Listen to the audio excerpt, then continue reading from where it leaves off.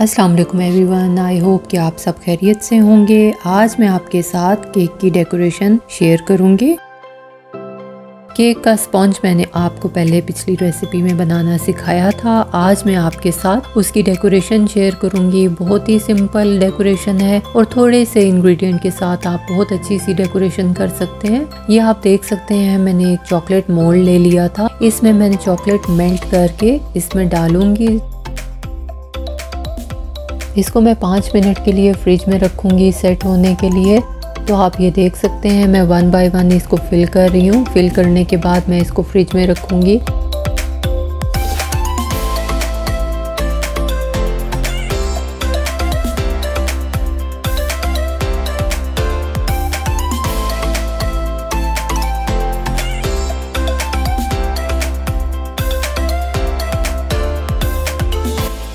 इस तरह से आप टैप टैप करके इसको सेट कर लेंगे।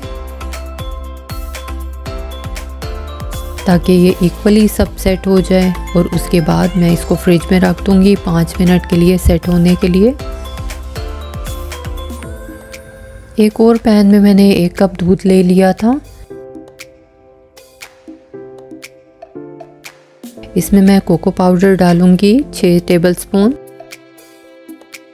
तीन टेबलस्पून मैंने इसमें कॉर्नफ्लोर ऐड कर दिया था। और ग्राइंड की हुई शुगर भी इसमें ऐड करेंगे, लेकिन शुगर आप अपने टेस्ट के अकॉर्डिंग ऐड करेंगे। मैंने यहाँ पे six tablespoon sugar add की थी और इन तमाम चीज़ों को मैं इस वक्त यहाँ मिक्स कर लूँगी। आपने अच्छे से मिक्स करना है इसको, क्योंकि अगर हम फ्लेम पे इसको रख देंगे तो इसके एकदम से लम्स बन जाते हैं। पहले फ्लेम पे जाने से पहले हम इसको अच्छे से मिक्स कर लेंगे और तमाम इंग्रेडिएंट इसके अंदर ऐड करेंगे। तो ये मैंने एक साशे मेरे पास था। कॉफ़ी का इंस्टेंट कॉफ़ी जो होती है वो मैंने एक साशे डाल दिए। अगर आपके पास नॉर्मल कॉफ़ी भी है, वो भी एक टीस्पून आप ऐड कर सकते हैं।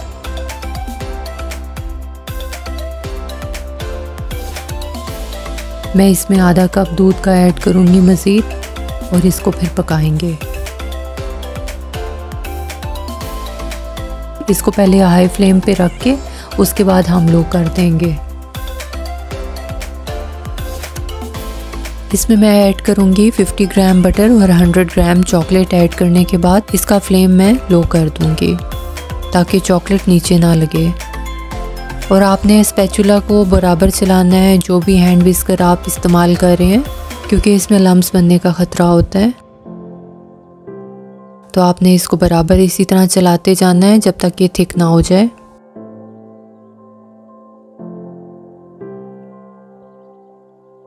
हमें बस इतनी ही रिक्वायरमेंट थी थिकनेस की।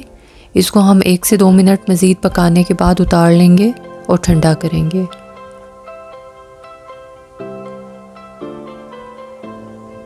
इसको हम थोड़ी देर के लिए फ्रिज में रख देंगे रूम टेम्परेचर पे ठंडा करने के बाद।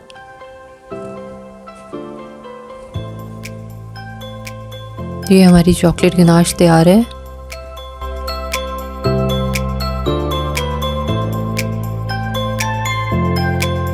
अब हम मज़ीद डेकोरेशन करते हैं।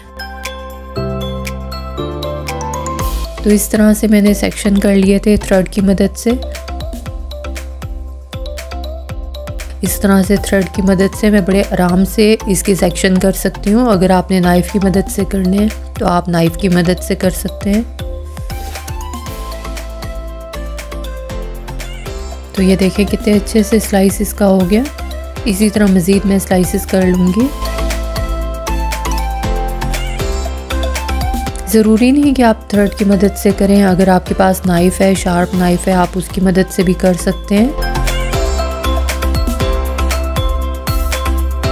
ये देखिए, आप कितने सॉफ्टी हैंड से मैंने इसको सेक्शंस कर लिए थे। इस तरह से मज़ीद मैं सेक्शंस कर लूँगी।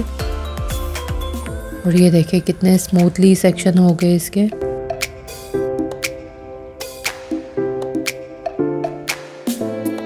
थोड़े से दूध में मैंने चीनी ऐड करके इसको मॉइस्ट कर लिया था, ताकि ये जूसी और मॉइस्टी केक बने।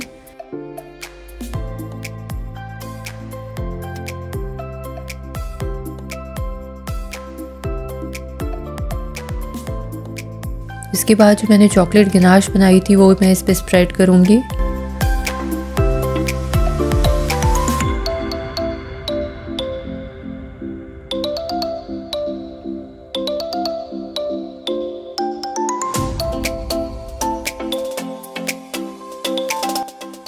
अब हम दूसरी लेयर लगाएँगे इसकी। वही स्टेप रिपीट करेंगे हम। थोड़ा थोड़ा सा करके आपने दूध ऐड करना है, एकदम से सारा नहीं डालना। उसके बाद हम विपिंग क्रीम लेंगे, उसको अच्छे से बीट करेंगे। उसको तब तक बीट करेंगे जब तक अच्छी से वो हार्ड ना हो जाए।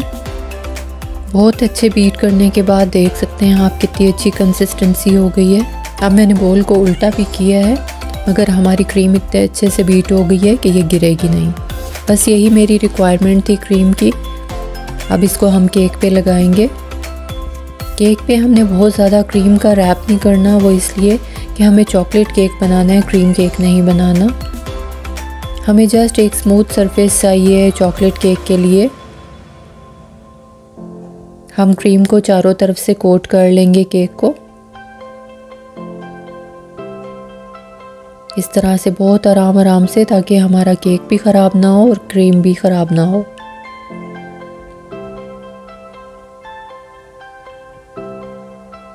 बहुत हल्के हाथों से हमने इसको स्प्रेड करते जाना है और लेवल करते जाना है। और क्रीम को चारों साइड्स पे केक के लगा के इसको रेडी कर लेंगे चॉकलेट के लिए।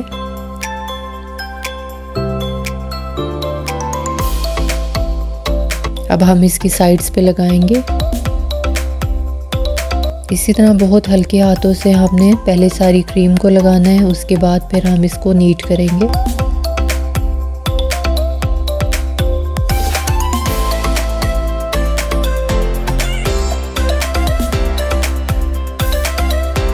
बस इस तरह से लगाते लगाते हमने इसको रोटेट करते करते हमने नीट कर लेना। है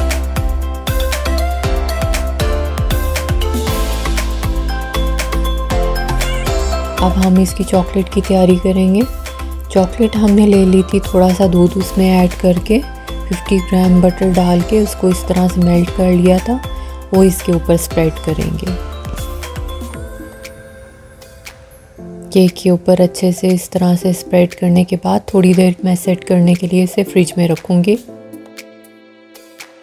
ताकि ये अच्छे से स्प्रेड हो जाए। तो ये जो मैंने चॉकलेट मोल्ड में चॉकलेट डाल के इसको फ्रिज में रखा था, इस वक्त ये अच्छे से सेट हो गई थी, मैं इसको निकाल के केक पे डेकोरेट करूँगी। ये आप देख सकते हैं कितनी खूबसूरत चॉकलेट बन गई थी छोटी छोटी सी।